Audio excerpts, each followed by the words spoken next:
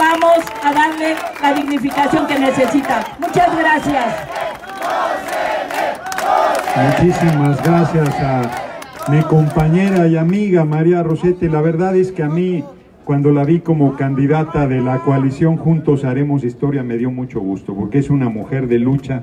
Yo la conocí desde el PRD y estuve solidario con ella cuando tuvo el traguísimo amargo del asesinato de su marido en la lucha por los derechos de los comerciantes y es muy positivo que ella esté aquí, Manzanilla, es que también salió del gremio.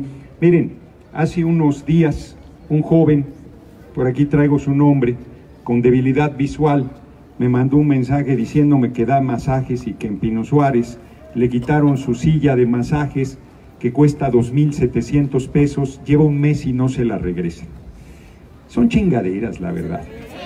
Están persiguiendo a la gente como si fueran delincuentes. Yo vivo en una vecindad en la Plaza de Santo Domingo, ahí en el centro histórico, y a un lado está el centro cívico y veo todo el tiempo cómo detienen a vendedores, vendedoras humildes que traen su mercancía, que son ambulantes literales, andan en la calle, y ahí los llevan como si fueran delincuentes peligrosos. La verdad es que eso se tiene que detener porque ustedes sí pagan impuestos. Cada que compran mercaderías están pagando impuestos, están trabajando. Yo solo les diría, no me voy a alargar porque como dice María Roset, tenemos que regresar en chinga. Pero miren, miren, decía un compañero que haga yo una huelga de hambre, dice que se haga la voluntad de Dios en los bueyes de mi compadre, ¿no? Oh, compañeros, les voy a decir, además a ustedes les puedo, hablo así de claro, pero les puedo hablar todavía con más claridad a este gremio.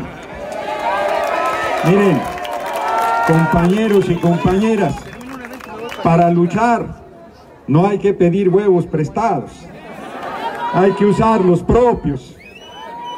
Y ustedes saben mucho de eso. Así es que yo voy a ser solidario con ustedes. En las luchas que den ahí los voy a acompañar con María Rosete y con todos ustedes, con todas ustedes. Ahí vamos a estar. Tenemos que lograr. Fíjense lo que les voy a decir.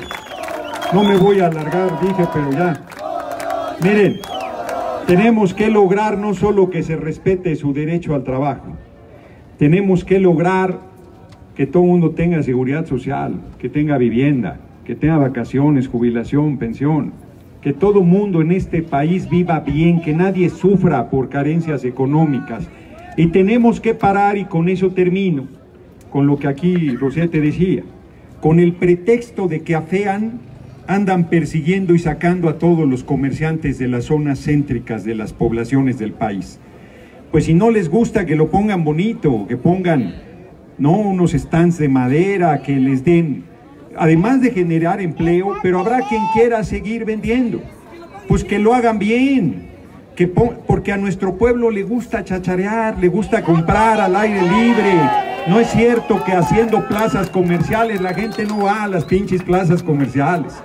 Muy pocas han funcionado. Entonces hay que dignificar al gremio, hay que generarle mejores condiciones, hay que hacer tianguis, mercados atractivos para la gente ustedes hay que levantar toda la basura porque luego queda un desmadre ahí. Hay que limpiar, hay que dejar las cosas como estaban antes de que llegáramos, hay que elevar la conciencia y sobre todo hay que hacer realidad y termino lo que un gran revolucionario mexicano decía, que el pueblo tiene derecho a vivir y a ser feliz. Así es que compañeros, compañeras, contarán con nosotros porque ahora sí el pueblo está representado en la